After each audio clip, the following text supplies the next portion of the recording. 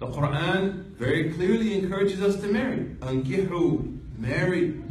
And Allah subhanahu wa ta'ala encourages us to have love. وَجَعَلَ بَيْنَكُم مَوَدَّةً وَرَحْمَةً That there should be love and mercy between you. It encourages us to create healthy families. Maybe someone will say, but what about the verse? Even sisters will ask in the fourth chapter of the Quran, Quran, وَضْرِبُوهُنْ That says, you know, you should beat your wife lightly. As one convert brother said to me, I never heard of a light beat down. We have to go to the early jurists who said very clearly, Abdul Rawaha and others said that this verse was abrogated. Sheikh Taha Jabr al-Alwani, one of my teachers who recently passed away, said that this verse was initially sent for taqeed, because the Arabs, as Sayyidah Aisha mentions in Sahih Bukhari, they were known for beating their women, unfortunately. So this verse uses the form,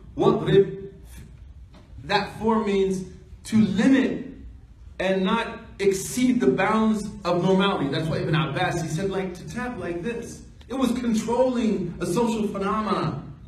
And then ultimately it was abrogated, mansukh. As mentioned by Sayyidah Aisha, radiallahu anha, who said that the Prophet